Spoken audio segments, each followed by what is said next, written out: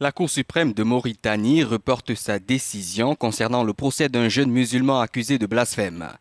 Mardi, elle a décidé que Cher Ould Mohamed Ould condamné à mort en 2014 pour un article sur Internet considéré comme blasphématoire envers le prophète Mahomet, serait à nouveau jugé par une nouvelle cour d'appel. En prévision d'une nouvelle décision, des milliers de Mauritaniens s'étaient rassemblés sur une place de Nouakchott réclamant la confirmation de la sentence et l'exécution du prévenu, âgé d'une trentaine d'années.